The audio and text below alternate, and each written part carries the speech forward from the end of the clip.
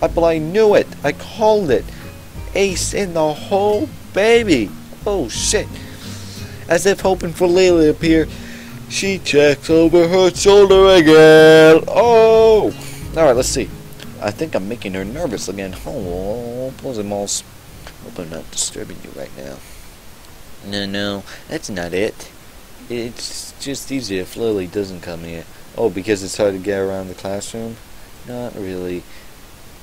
Hanako's gaze drifts, oh my god, past my shoulder towards Suzune. Suzune, Hanako nods again. What about her? Don't they get along? Hanako shakes her head clearly. Alright, so Hanako isn't an enemy of Suzune, technically, but Suzune isn't a friend with Lily. Maybe Suzune doesn't like Lily, but Lily's fine with Su Suzune. Hmm. I don't know. Honestly, they're somewhat opposites. Lily can hear and speak, but she can't see. Well, it's the exact opposite for the other for Suzune. It does make a strange sort of sense. Suzune and Lily are not getting along so well. What, what do you mean? Did you see this fine? I didn't see any fine. Ugh. Oh. oh, yeah, that's right. There's still this.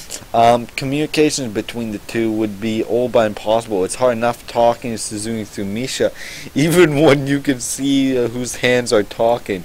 Oh, yeah, I've I've always wondered that. Wouldn't it be like almost hell on earth? You have two friends. One of them's fucking blind. The other one's deaf and mute. Fucking, it's impossible. You can't fucking do it. Oh, she's here now. Oh. Hanako spins around and confirms this. And upon seeing her, she quickly moves to the door. Lily, alright. Lily! Oh! Oh! Oh, shit. Maybe I shouldn't try to go after Hanako from my seat. Ah, Hanako, good morning. Is the president here? Y yes, Hanako glances over as if to confirm she can't hear them, even though that's impossible. I suppose we'd best be off then. Lily's tone and sigh of what seems like frustration makes me raise an eyebrow. I guess there's some kind of enmity. Enmity? I don't fucking know. I can't remember. It's intriguing, but that's not something I'd ask about. I'm sure if they want me to know that they would tell me. It's on my third day here. I should be uh, trying to make friends, not find out why people are enemies. Still, it's a fun to find out that this high school has little feuds, just like my old high school. Even if the people here are more tolerant of others, they're still going to get on each other's nerves. Hey, Lily, how are things? I'm sorry I made you uh, run off yesterday. Oh my, is that Hisao? I didn't realize you were here. Seems that Lily is a little embarrassed about being so frank in front of me. Sorry, Lily. I thought you realized. No, it's alright, Hanako. How the fuck is her eyes coming out from her hair? Jesus Christ. Hisao, don't please don't worry about yesterday. It was just a misunderstanding. If you say if you say so, I'm still working this play out. Well then, I think you'll find most people are a lot more forgiving than elsewhere. If you're feeling a little confused, please don't be afraid to ask questions. Sure, I'll remember that. Hey, why do you hate Suzune so much? Fucking hell. Whip him with a cane. Um, Lily. Lily gives a small nod of acknowledgement. I'm sorry, Hisao, but we must be off. He, Hanako doesn't look all that comfortable around comfortable here right now, and Lily still seems a little embarrassed. I wonder if my apologies really made any impact. Mind if I accompany you two? Oh my god. Oh my god, this guy's pushing it. This guy's just pushing the envelope every day. Fucking a colder blind girl, and then asked if. Oh my god, I know I'm kind of pushing it, but Lily, huh, hmm, still smiling. I'm sure that we can could accommodate you, can't we, Hanako? Maybe it was a bad idea to talk to Hanako. Maybe, maybe it was. Oh, maybe it was. Uh, she looks at Lily, then at me, and then freezes, wide-eyed. Sure. Well then, shall we go? I'm sure Lily wouldn't do this so easily if she saw a scared Hanako look. Looks, but it can't be helped now. Decline after the deal is sealed would cause confusion and problems. Vanguard, baby. You know what? We sh should I don't know what I should have done. Because, uh, hmm, this is tricky. Nah, I, I made the decision, I'm going to keep with it. Like, look at Van Gogh. He's still, he's looking right into the sky, baby. He knows I made the right decision. Ugh. Lily walks beside the wall, laying her cane gently tap against it every now and then. Hanako comes along right beside her, so close that she's practically half hugging her as they go. Although it must make her walking that much harder, Lily takes it in stride. As we turn around a corridor hallway, something hits me in the chest with the force of a steam train. Hanako shrieks a little and my vision goes black. Oh no! Oh! What could it be? Oh shit, I thought I was going to have a heart attack. Opening my eyes, I see a pair of saucer-like green eyes looking up at me. Holy fuck. There's two legless girls.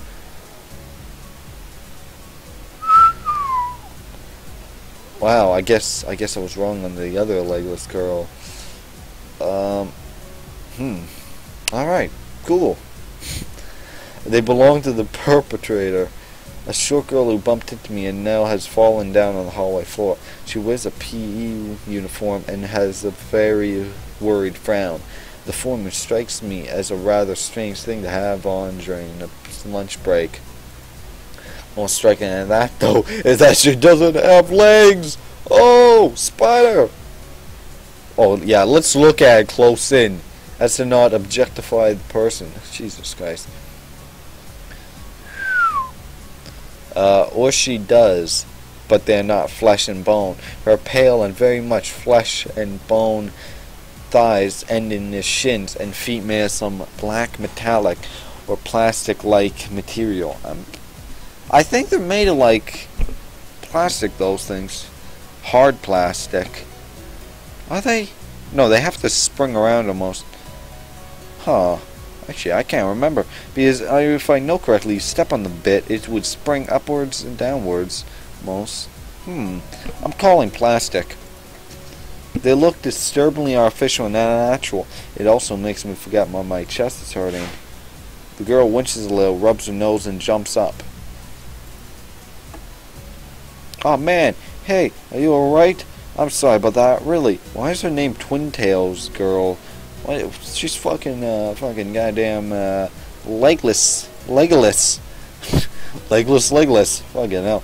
Uh, shouldn't she be called uh, legless girl or uh, prosthetic leg girl? Something more identifiable.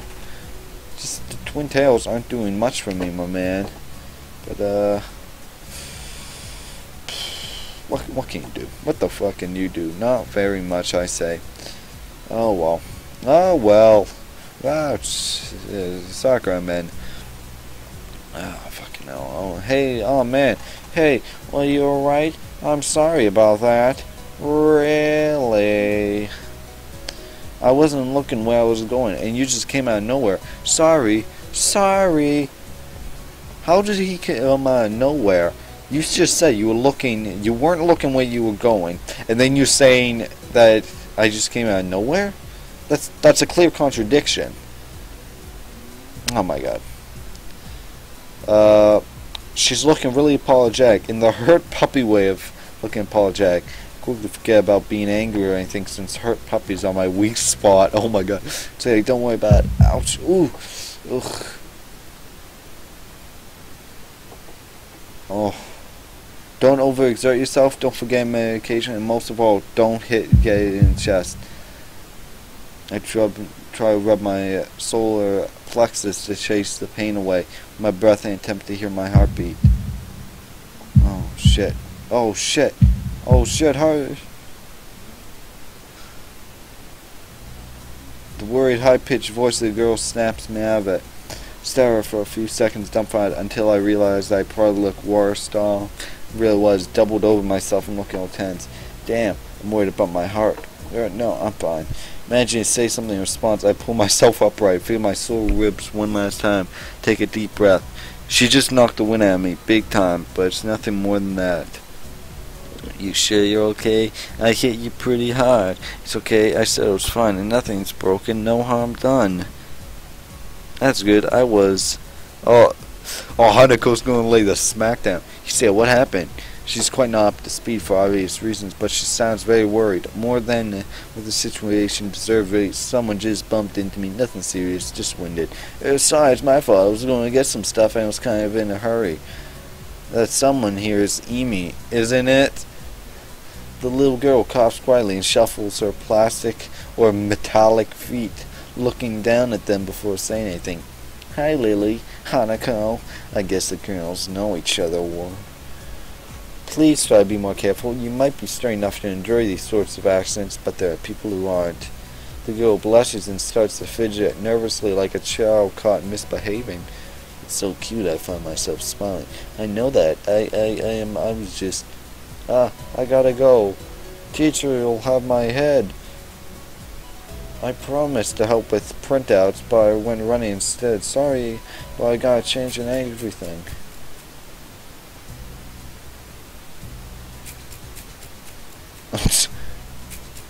That's a fucking noise right there. Before any of us can say a thing, already bolted away, leaving the hallway eerily quiet. Does this little thing happen often around here? There are more rules in uh, Yamaku than usual for running in corridors. But that really starts stops Emi, it seems. She shakes her head weakly and offers a slight, composed smile. Smile? Yeah, alright. I don't think there's anything we can do to stop her, I'm afraid. Shall we be off then? Lily heads off along the hallway and Hanako hurries after her. The work to a room the two used for tea is fairly simple to retrace, being still fresh in my mind from yesterday. Lily and Hanako quickly go about the business of making lunch. Before I can even open my small bag of food, Lily busying, busying herself with her thermos and tea bags as Hanako is saying out both their lunch boxes. So, is this what you meant uh, by coming here almost every day? Yes, Hanako and I usually have lunch here. It suits both of us, so we end up using this room regularly. After seeing Hanako's reaction to me over uh, the past couple of days, I can understand why that is a boon. That and Lily being able to get some quiet away, quiet away from her class as well. Huh. I take my seat last after Lily poured tea for us and sits down. Oh, the more time I with these girls, the more I think they're a perfect foil to Misha and uh, Suzune. Exactly. Lily is the opposite of Suzune, and Hanako is the exact opposite of fucking uh, Misha. Even with that voice, Suzune is direct and brash, and Misha seems to get along with everyone. On the other hand, Lily is soft-spoken and relaxed, while Hanako, Hanako seems to be the shyest girl I've ever met. So, how you faring in Yamaku? Hayashio? You seem a bit flustered before, apart from getting lost every now and again and being crash tackled outside my classroom. Fine, I guess. You you look pretty uh, hurt before. Are you okay? For a brief moment, I uh, considered telling Hanako and Lily about my condition, but then I hold back. I can't tell why, but for some reason, I feel uncomfortable talking about it to these relative strangers, even if they have been pretty friendly. Yeah, it's nothing. I was just a bit startled. Judging from the two girls' expressions, I don't think they're buying it. But in but in what I assume is their way of respecting my privacy, they don't press the matter. Oh, these guys are saints. I love them. Oh, they're such a great group compared to our main character Hisao. Who wants this bloke when you can have these two? No. I guess that is one of the unwritten rules around here. Don't ask. Even if people's conditions are obvious like Hanako's, there's still bound to be a story involved. Everyone has things that they don't want to feel comfortable uh, speaking about, and I think everyone here recognizes that. So, uh, how long have you been at school? You both seem to know your way around pretty well. Hmm, well, I've been here since the start of high school, but I only moved to dormitories a year ago because joined, joined at the start of high school as well. I moved to dormitories when she did. If memory serves me right, I moved to when she did. What? Uh, Hanako joined at the start of high school as well and moved to dormitories when she did. Who's she? What? Alright, let's read this. Alright, so she's been here at the start of high school, but only moved into dormitories a year ago. Hanako joined at the start of high school as well. Wait, what? And moved to the dormitories when she did. Alright. Alright, no, never mind. It was confusingly written, but I think I understand. So she's been here all along, her only one year in dormitories. That's right. Since high school. So, you've known each other since then? Yes, I moved. Since I moved, yes, Hanako lives next door to me, so it's only natural, right? R right. Yes, of course. Yeah, of course. Oh my god, this guy's... Oh, he's trying to act cool and uh, mysterious, but he's saying shit like this? What a fucking imbecile. Living next to someone is probably enough reason to befriend them. Though I'm guessing uh, that Lily's blindness played a part in it as well. Oh, so then you're saying you're going to be besties with Kenji then, Hisao? I can't imagine Hanako easily making friends with someone who has to, who has to deliberately avoid looking at her scars. With the immediately conversation dried up, we start to eat our lunch. It's, it isn't long before the... Holy shit, what kind of bells were those? They had all the bells and whistles that time. Jesus Christ. Alright, it isn't long before the bells are signaling the end of the break. Like me, the girls pack up their lunches as, as efficiently as they set them out. Uh, I guess I'd better be off. Are you going to go with Hisao, Hanako? Hanako looks up at me, and for a second, she is considering skipping class, maybe just to avoid walking in classroom with me. Y yes. I don't know what to think. Hanako really is delicate to the point of breaking if looked at the wrong way. It makes me nervous too, but I push the feeling aside, trying to be as natural as I can.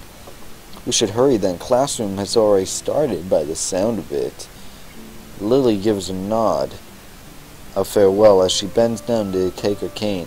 Hanako and I filing out before her. Alright, we walk quickly down the empty halls to our respective classroom. As we reach the door to Lily's 3-2 class, she turns towards me. Hisao, thank you for sharing lunch with us today. My pleasure, Lily. Oh, you balls. And then, what, what does Hanako say? And with that, we part ways. Lily entering our classroom, leaving Hanako and me to make off to our own. She's still looking you know, like she wants to run away. So, do you really want to go back to class now? Yes, okay then. Feel like I should say something more, but it's hard to come up with anything that would be appropriate and safe enough. Lily was right. The more time we spend out here, the more explaining we'll have to do. I open the rear door to the classroom and walk in. The teacher looks up at me and opens his mouth to say something. Don't you do it, Hanako! However, as Hanako follows me in and closes the door, he simply nods to us and continues his lecture. This is the third time that Hanako has had her truancy uh, practically ignored. There's definitely something going on here. Making way to a seats, I notice that Misha and Suzune are both missing as well. I wonder if it's some form of informal agreement the staff or if it's a perk for the unique students school. What? Trying to make as little disturbance as I can. I extract relevant textbooks from the bag and start catching up. The class goes on quietly. Teacher seems like an okay person to, besides the weird expression I got. And the material is relatively interesting. I wonder what they're learning, like fucking geometry? However, the way he teaches it is really bizarre. It's as if he expects that everyone is a natural genius. Oh. When the bell finally sounds, I realize there's still a lot of time left in the day. I'm left wondering what to do. It's odd. At the hospital, I had 24 hour day of free time, but here filling the considerable uh, shorter hours felt difficult. Everyone else leaves, and I'm left alone with the teacher. Muto is examining the assignment sheets we were working on together, marking them with the red ball pen. Raising his eyes from his paper briefly, notices me and furrows his brow. What is it, Nakai? I jump at him, addressing him, but I guess naturally sparked some conversation since there is nobody else around. Um, nothing. Thinking about why I should do that. School. Uh, the teacher slowly puts the cap of his pen he is holding on the pen he is holding and arranging his paper into a stack, clacking against the desk twice. He seems very methodical. Methodical. For a moment, I'm reminded of Suzumi, but the teacher is more unhurried and relaxed, much more routine. You have no plans? No, I consider joining a club, but I don't know what kind of club would interest me. Go observing me at someone else's club might pique your interest, I guess. I just, I don't know. Muto looks at me that makes me quickly want to take back, you know, the words, makes me want to take back the words to avoid a conversation, but I can't, so I have to forge ahead. I just don't know how to deal with people. I mean, the students. I'm talking to people and I think, but it's not like I'd be isolated or anything. And so it's not like I'd be isolated or anything. I just know what to think about this. It's like the disabilities. It's like, it feels like I'm being impolite if I pay attention to them, and it's weird to ignore them. Damned if I do so, damned if I don't. The teacher scratches his cheek absent-mindedly, looking, looking very unresponsive. These things are only an issue if you make them one. That's what Lily says. You can talk normally with someone even if they are blind to something trying to look behind the try to look behind the superficial. There's not a single student here isn't just a normal kid behind what they might seem at first glance. He says the same thing as Yuko did. What? I thought that was Lily. Oh. Oh shit. Oh no. I know they're right, but it's hard. How can you not consider, for example, Suzumi's deafness when the only way to talk with her is to talk through uh, Misha? Or Hanako, it's not like you can ignore her face, but... Oh. I'm interrupted by a door of the classroom suddenly slamming open. Teacher! Misha crashes in, hands straight, an enthusiastic greeting. Fucking no, like, you mean like a, one of those Hitler salutes? Jesus Christ. Her voice loud and lively, enough to wake the dead from their graves. She starts towards teacher's desk with her bouncing step hands energetically swinging with the rhythm. Muto, visibly dismayed by interruption, Misha in general slumps in his chair. Mikado, Misha Mikado, you fucking son of a bitch. Misha, stop. The difference in their artwork is so unnerving. Like, this looks more anime-ish, but this one looks... Holy fuck. Yeah, something's off. Something's really off. As if she's sensing from its tone that something's wrong but has no idea what. Yes, we have talked about volume control before. Yes. But she doesn't lower her voice at all. Teacher just rubs his eyes. So, what is it? Hey, we need help. We are running out of supplies for the festival stands. This is a disaster. It's disastrous. She waves a pink slip of paper she saw around. So, go get more supplies from the art room. What's the problem with that? Plywood. Plywood is always a problem. Last time we wanted more, there was only little. But that time, we just took it all and went with that. Oh. Now there's none, like none left there. So do you know where there is some? I understand. How would I? C-Chan, I mean, the president thought that a teacher would know if it's plywood. Was she wrong? Muto liked he was in great pain, frowning from his entire essence. Misha doesn't get it at all. Look at the two, looking at the two of them communicate terrible. Like, look at a man being tortured by drilling his skull open while blasting pop music at full volume at the same time. I'm afraid I have no idea if there is plywood in school, let alone where it would be if there was any. Uh, what should I do? Perhaps I find Mr. Nani Namiya? I'm quite sure he would know where to find everything you need. You only have to pry them from his cold dead hands, but that's a different matter. Uh, I don't have time. We're so busy. She holds her hand with she holds her head with both of her hands, looking as despairing as is possible for a person like her. Without even noticing, she crumples the note she's holding against her hair. I shouldn't even be fetching these things. There is so much to do, and we are falling behind the schedule. Muto looks at her gravely and then suddenly smiles. Smiling doesn't really fit his face. I think it'd be better if he didn't. I wonder if you could get some temporary help. Oh! He switches staring at me focusedly with a hard expression as if trying to say, go make some friends. Yeah, I guess I could give you a hand. You can? Thanks, Ishan. You really are nice. She pauses, does a double take, and then points at points at me with her finger again. Ah! Come to think of it, what's Hee-chan doing there? Class is over. You should be having fun. She's at a chat. Oh no, it's not detention, is it? In trouble, Hee-chan? No, I'm not. Is Hee-chan in trouble, teacher? No, he's not. Mutual size, and I feel uh, you have to help Misha get her, uh, her off teacher's back. What do you need? Here's a list. I can try to find the plywood from somewhere if there's none in the art room. She offers me the note she's holding. I take it, hesitating a bit. I said I'd help you, but this isn't. But this has no implications on whether I'm joining the council or not. Oh, still, thanks, Hee-chan. Just try to be quick. We are in stall building stricken out. We must hurry, hurry, hurry. She bounced out of the classroom, leaving me and the teacher looking at each other with something feels like silent agreement. well, there you have it, Nanako. Uh, Nanako. Fucking hell. Who the fuck is Nanako? Uh, damn it. It's Hanako with Nakia. Oh my god, that's nuts. You have something to do now. Well, you have it, Nakai. You have something to do now. Please don't sound old smug. Looking at the list with a number of things ranging from paint to plywood, all written with small, neat handwriting that is that is undoubtedly Shin's. I heave a sigh. I'll be going then.